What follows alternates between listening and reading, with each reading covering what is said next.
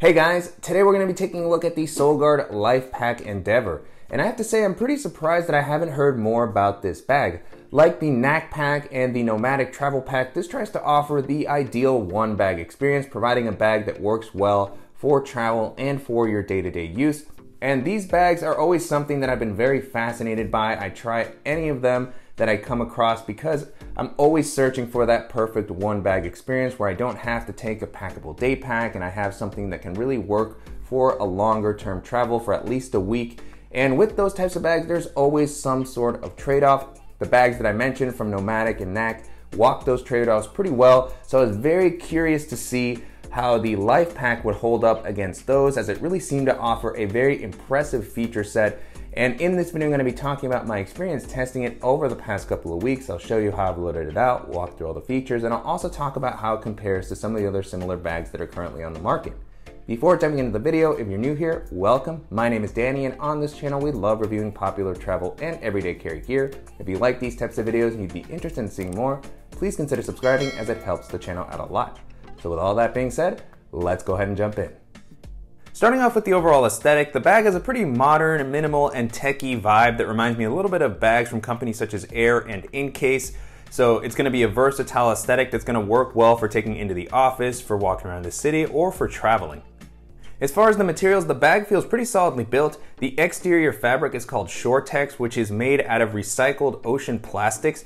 It also helps keep the bag pretty lightweight, coming in at under three pounds, which is impressive considering the padding and the features that are included on the bag. The fabric also has kind of a ripstop patterning, which again just you know gives it that sense that it's going to hold up well to rougher usage. It seems to offer a decent amount of weather resistance. On the bottom, you also have a reinforced section here to give you some extra protection against the elements and just to prevent uh, abrasion and anything like that. Um, and then you also have some zippers that work very smoothly. I wasn't able to find any YKK branding on these, so I'll have to confirm the zipper brand, but for now they've worked smoothly and they again feel like they're gonna hold up even over a longer period of use. Continuing along the outside of the bag, as far as branding, you just have the very subtle Solgaard name here on the front. So I like that that's kept pretty minimal. You have external water bottle pockets, one on each side that offer a decent amount of space. I was able to hold the same 20 ounce water bottle that you see in a lot of my other daily bag videos. And there is some elasticity to the compartment, so it's nice that it gives you some flexibility. It also helps hold the bottle in place. The compartment does start to feel a little tight when you have the bag packed out as I currently do. So anything thicker I think would have been tough to fit or it might have started to actually slide out of the bag. And I like that because it has this elasticity, it kind of pulls the compartments close to the bag to give it a cleaner overall look when they're not in use.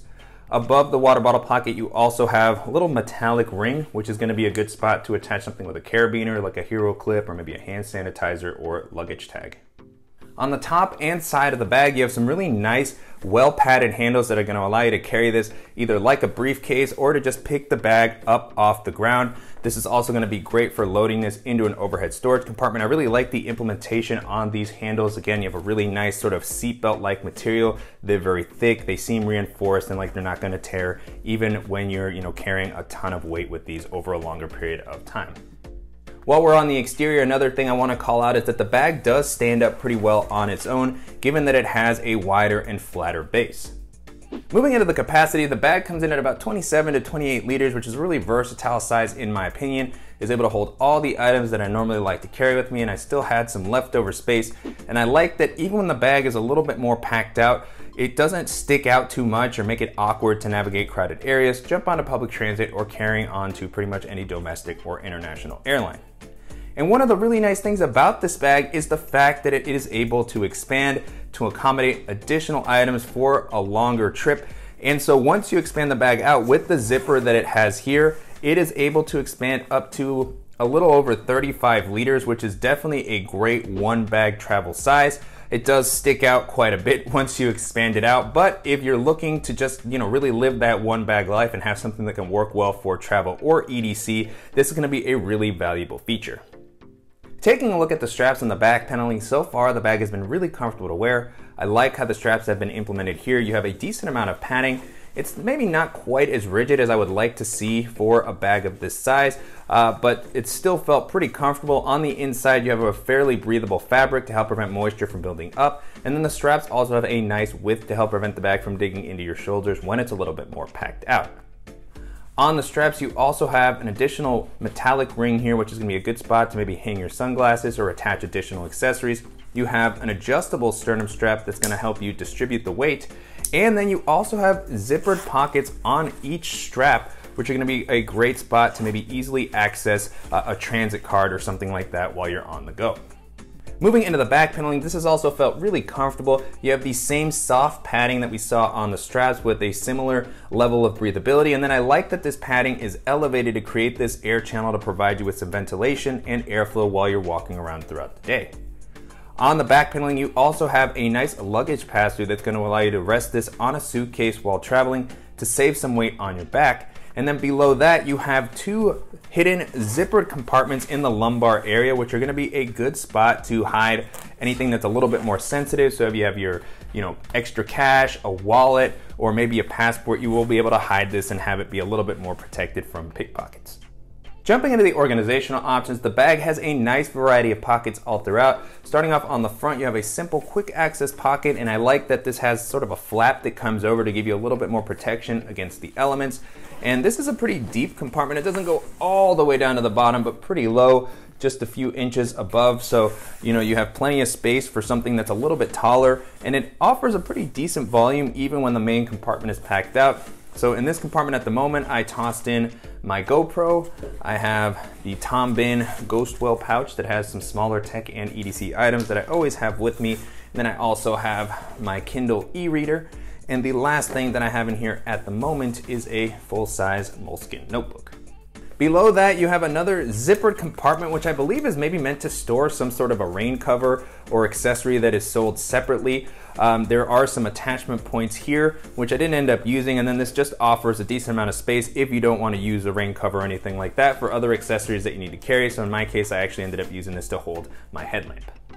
Moving into the main compartments of the bag, the way that the company described this on their site is as having kind of a life compartment and a work compartment. So the work compartment is kind of where you have your tech items, your laptop, your dongles and all that. And then the life compartment is for you know, when you're traveling or just other sort of non-work related items. So I'll start with the work section first. And this has a dedicated laptop area, which I'm always a fan of. It's I really like when it's separate from the main compartment to just make it easier to grab. So nice amount of internal organization in this compartment in addition to the laptop sleeve. So I'll start on the front of the compartment where you have a few different slip pockets and slots for any of those you know work or tech related items. So all the way here on the left, you have a slip pocket that's large enough to hold my Apple Magic Mouse. In front of that, you have a few elastic bands, which are gonna be good for tech dongles or EDC items. In my case, I currently have just a little flashlight here. And then next to that, another sort of kind of mid-sized slip pocket. Not a ton of elasticity in these, but still enough volume to hold any accessories that I might need to grab quickly. So I have here a lightning cable and power brick for my tablet and my phone.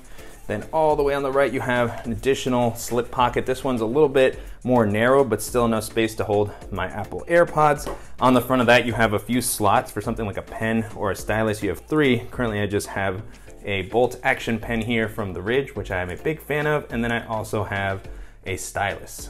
And then below that, you have an additional larger zippered compartment which is going to be a great spot for your laptop charger. That's what I currently have here. I have the USB-C cable as well as the power brick and the compartment does have some volume which is how it's able to accommodate maybe a bulkier accessory so really well thought out layout there and then in this compartment you also have a little lanyard with a plastic clip uh, which may be a good spot to attach something like your keys or a multi-tool. It's an interesting placement. I'm not really sure why this would be in this area as it's a little bit more difficult to access and I actually didn't end up using it to hold anything uh, for my particular use case.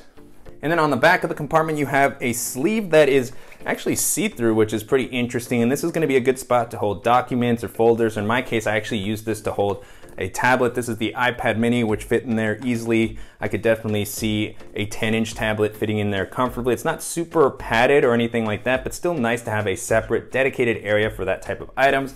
And then you also have a well padded laptop sleeve. And this is gonna be able to hold up to a 15 or 16 inch laptop easily. Currently what I have in here is my 13 inch MacBook Pro. You can see there's plenty of leftover space here at the top. I really like that the sleeve itself is pretty padded. On the back, you also have this soft lining to help prevent against scratching. And the compartment is a little bit pulled up off the bottom of the ground and padded to give you some protection if you happen to place your device down a little bit harder. So pulling my laptop out, now the compartment empty, you can get a better look at the inside. The sleeve comes up a decent amount, so if you happen to have a thicker device, it should be able to fit in here comfortably. And again, with the padding that's offered here, the fact that it's pulled up off the bottom, and with this soft lining, it really feels like my device is gonna be very well protected while I'm running around throughout the day. Moving into the life section of the bag, this is what I would consider kind of the main compartment in a traditional backpack. It's a top loading compartment, but the flap comes up enough that you still have visibility into the compartment and you can pack it out pretty easily, grab what you need. So a pretty simple layout overall and it's actually compressed down right now. So this is the 27, 28 liter capacity. And even at that size, I was impressed with just how much it was able to hold. It's a simple layout that's also gonna be great for bulkier items. So jumping into what I have here, first up at the top, I have my rain jacket, which I definitely have with me during the rainier season. I have my Beat Studio wireless headphones with their hard shell case. I have the Evergood Civic Access pouch, which is one of my favorite kind of tech and EDC pouches, particularly for working remotely. I have at the bottom here the DJI Mavic Mini with its hard shell case, and then I also have my Levit8 portable standing desk.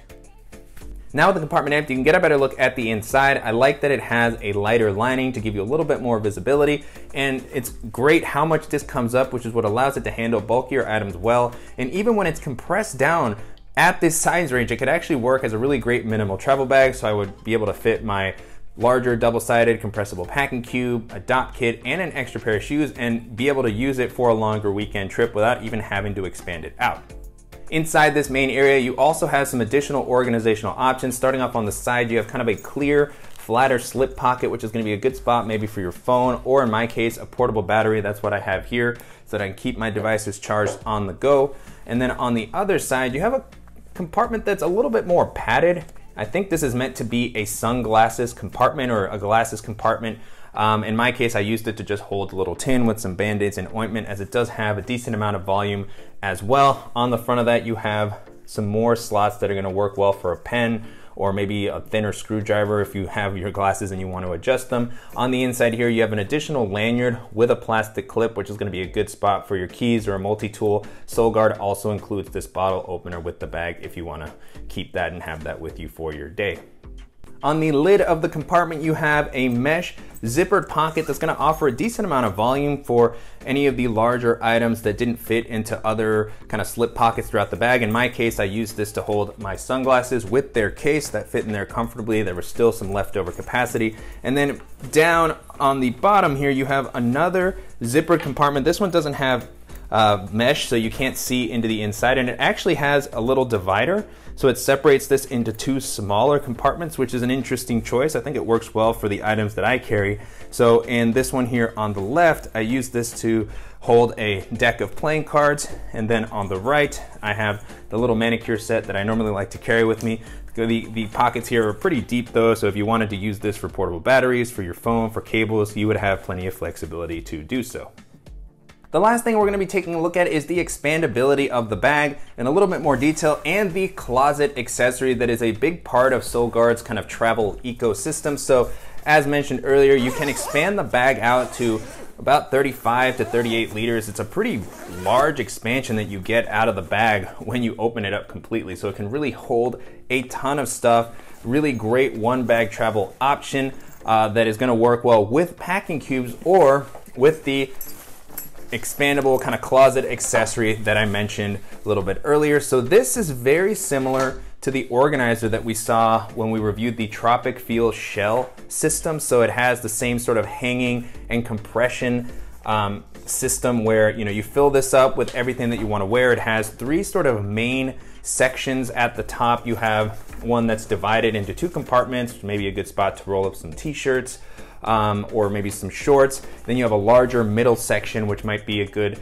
area to place your pants, your shirts, any of the larger items that you're carrying with you. And then at the bottom, you have a series of dividers that is going to be great for your underwear, your socks, or you know for rolling up more t-shirts, bathing suits. So a lot of different kind of ways that you can organize this this thing. It packs out quite a bit of stuff. And then you can compress it down using these straps on the side to give you just a little bit more space and just keep everything together and really tight.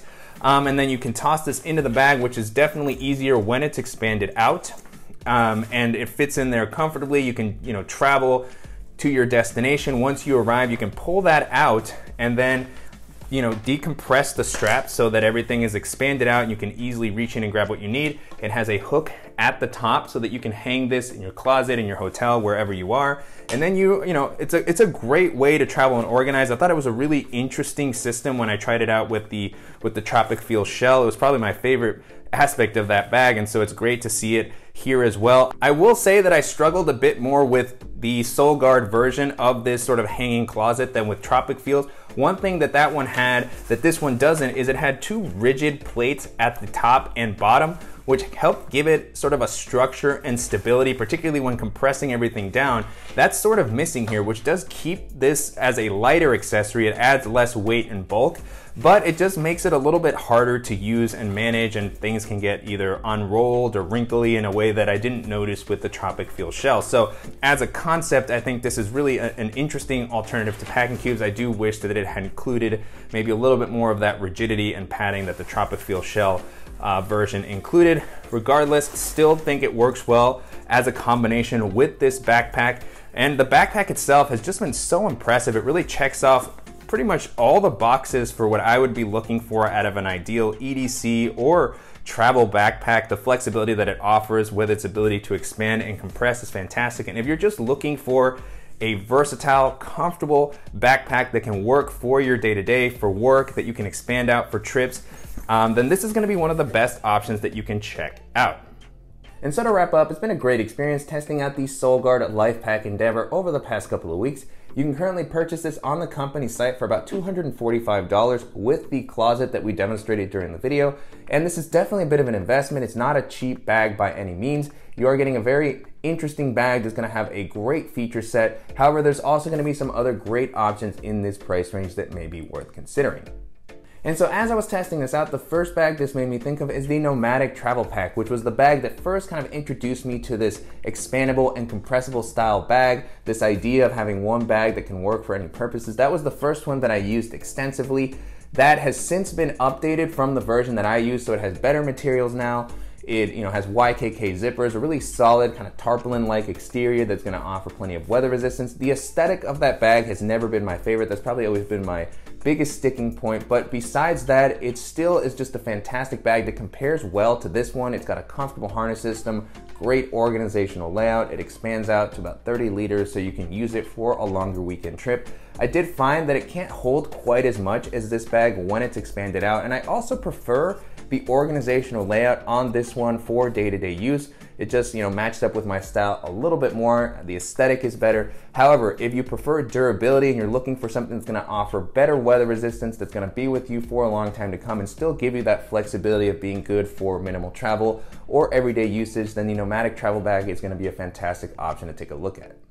The next bag this made me think of is the Knack Pack Series 2, which is another really great expandable and compressible bag meant to work great as a travel bag or an EDC backpack. That one has a really kind of professional aesthetic in my opinion. It's a perfect bag for work travel. I really love the organizational layout that it has. Just the pocketing is fantastic, particularly for day-to-day use. It also feels like it's able to hold about the same amount of stuff as this bag when it's expanded out. So really nice capacity, maybe slightly smaller, but it's gonna be able to hold more than enough for, you know, a longer weekend trip or even up to a week of travel.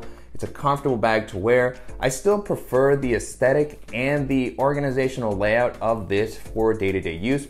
I find that they both have a similar build quality and so if you're looking for something that has a maybe more professional or modern vibe, I might go with the Knack Series 2, but if you're looking for something that's gonna be maybe a little bit more comfortable and that just has a slightly different organizational layout, then the Lifepack Endeavor may be the way to go. Another bag this made me think of is the Incase City Commuter Pack, which has a pretty similar aesthetic to this. It's got kind of a minimal, modern, techie vibe. Lots of great organizational options on that one. A really big quick access pocket that's fleece lined, solid laptop protection, it's comfortable to wear, and it does expand out if you need a little bit more capacity so it can hold quite a bit. It doesn't expand out as far as this bag here. It's not meant to be for as long-term travel as the Lifepack Endeavor, but it is just gonna give you some extra space if you wanna toss in a packing cube with some travel items. You can compress it down for day-to-day use. It's gonna look great in an office environment, and that's also gonna be a great one to consider if you're looking to save a little bit of money. It's not gonna have all the same sort of bells and whistles as this bag here, Incase also doesn't have the closet organizer or anything like that, but if you want something that's versatile, stylish, that has this sort of a vibe, then that's gonna be a fantastic option to consider. And then the last option that I'll mention here is the Able Carry Max, which isn't expandable like this bag necessarily, but it does come in an interesting size range at 30 liters that can work well for travel or everyday usage.